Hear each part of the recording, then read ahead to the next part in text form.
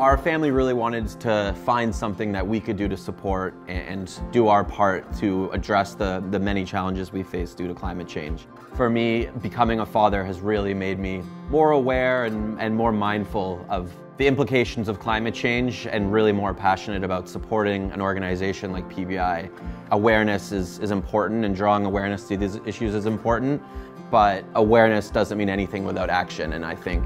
the action that, that we're seeing from PBI is, is so powerful and it's something that we're really excited to continue to support.